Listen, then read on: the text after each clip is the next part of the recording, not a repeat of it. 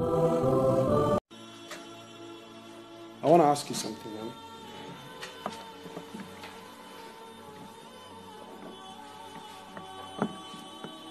What is it that took you away from Allah?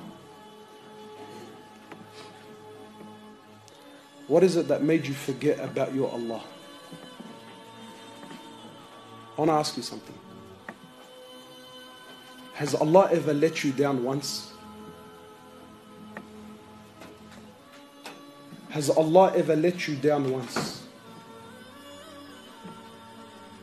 In Quran, Quran, Allah Azza wa Jal speaks out. And He says, O human being, Allah subhanahu wa ta'ala is speaking, O human being, what is it that took you away from me? What is it that distracted you away from your Allah? Allah says, O my slave, Quran, did there not come a time where you did not exist? He says, لم يكن شيئا مذكورا. You weren't even remembered. Your name wasn't mentioned. There was a point in time, my brother, you didn't even exist. Allah says, I created you.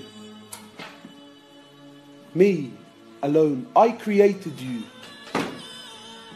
from a piece of sperm. People walking around today, you know, looking down at others. He thinks he's something. Allah, he thinks he's something. Brother, did you forget where you came from? Allah created you from a piece of sperm. So don't be fooled now, you know, because mashallah now you got some money in your pocket. Or maybe now, you know, you drive a nice pretty car. Allah says, I created you from a piece of sperm. Your beginning was a nutfah. Your beginning was a nutfah. Yes, my brother, for those of you who have pride and arrogance in their hearts, for those of you who think that Allah owes them something, for those of you who feel like I don't have time for Allah, my brother, there was a point in time you were nothing. Then from nothing, you were a piece of sperm. Forgive me for the language, but if I can't speak the truth, then what am I here for? What, to entertain you? You were a piece of sperm. If you were on the floor, I challenge anyone in this room if they would have picked you up. You were that whether you like it or not. Shaykh al-Islam ibn Taymiyyah, he says, amazing, amazing, amazing, amazing.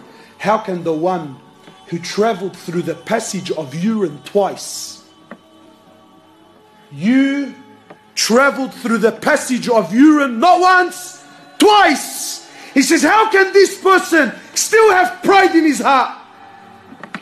Allah says, I created you from a piece of sperm in three layers of darkness in the womb, in the stomach of your mother. I created you, I fashioned you, I sustained you. Where was your family then? Where was your money then? Where was your car then? Where, where were your girlfriends then? Where was your Facebook then? When I created you, you were nothing. Where were these things that have taken you away from me? These things that have taken you away from me, where were they then? For nine months in the womb of your mother, I sustained you with no money, with no factory, with no science, with no companies, with nothing. I sustained you for nine months. For nine months in the womb of your mother. Who taught you to swim in water? Who? What school? Who taught you to swim in water for nine months? Allah. And then after nine months, for you, Allah made the impossible possible. Allah made the impossible possible for you to come into this world. I mean, you tell me, how does something like this come out of a womb like this? Yet Allah made it possible so you can come into this world. You came naked, barefooted, uncircumcised. You had hands, but you couldn't grab. You had legs, but you couldn't walk. You had a mouth, but you couldn't eat. Who looked after you then, man? Who sustained you then? In the breast of your mother, let till this day, with all their science and all their knowledge and all their know how and all their resources and all their ability and money, to produce a formula that is half as good as the milk that Allah put in the breast of your mother, they still can't produce. Yet Allah put that in the breast of your mother. For who? Who paid for that? Who asked for it? In summer, He made it cool. In winter, He made it warm for you. Who did that for you, man? Who watched over you every night? Who put the mercy and the love in the heart of a human being to be there for your every need? You had legs that couldn't walk, Allah allowed you to walk. You had hands that couldn't grab, Allah allowed you to grab. You had a mouth you couldn't eat, Allah allowed teeth to grow. Allah taught you. Allah taught you. Let every beat of your heart, every beat of your heart, your heart seeks permission from Allah. Did Allah ever say no once to it? Something like a hundred thousand beats a day. Did Allah ever say no once? Every breath you take, your lungs seek permission. Did Allah ever say no once? Even when you were doing haram, even when you were committing zina, even when you were displeasing Him, even when you were sinning, even when you were doing wrong towards your own self, harming your own self, doing that which clearly Allah doesn't like, clearly which Allah made haram. Even then, even then when you were doing haram, your heart still had to seek permission from Allah and Allah still granted it.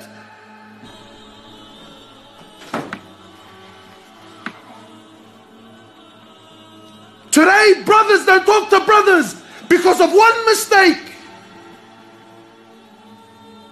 Men are divorcing women because of trivial things. Did Allah ever say no once? And now, my brother, because you can walk on your own, and you can talk on your own, and you can grab on your own, and you can make a little sandwich for yourself, you don't have time for Allah. You're busy. I don't need this. Is this how we thank Allah? You give me a plate of food. I come to you and I'm hungry. I come to you and I'm hungry. And I tell you, please, brother, there's no one here to feed me. So you give me a plate of warm food to eat. I eat your food. And I say thank you by spitting in the plate.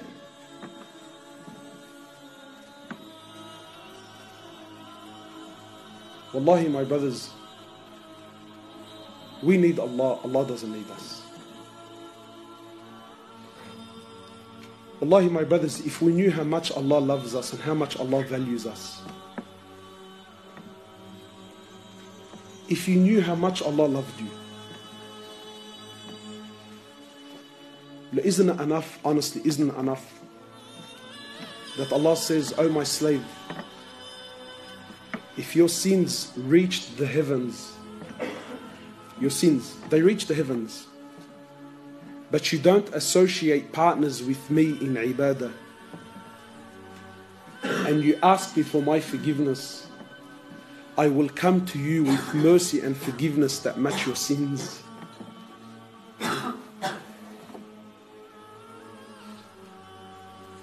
He says, O my slaves, those who have transgressed against themselves, don't you ever, don't you ever, ever give up in the hope and in the mercy of your Lord.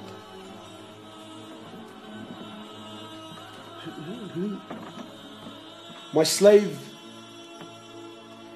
if you were to ignore me, neglect me, sin, never pray, become the worst person, the worst, the filthiest person, the biggest criminal, not for 10 years, not for 20 years, not for 30 years, not for 40 or 50 or 60. You could be the worst of the worst, the filth of the filth. And once, only once in your life, something enters your heart and you say to Allah, Ya Rabb,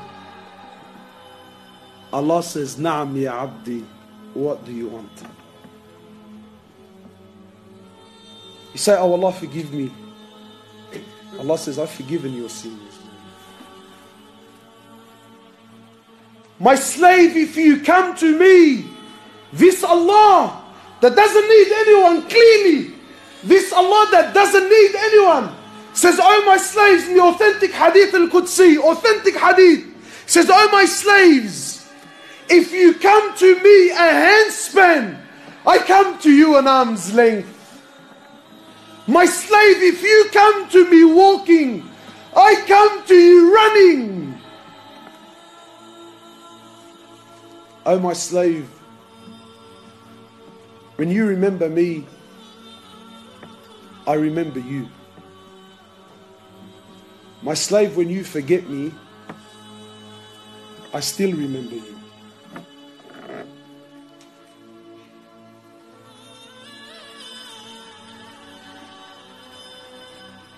Wallahi, my brothers, we have so much shortcomings to Allah. And this isn't about us and them and the ummah and what's. No, no, no. I'm talking He, you and I right now. This Allah that's given us so much.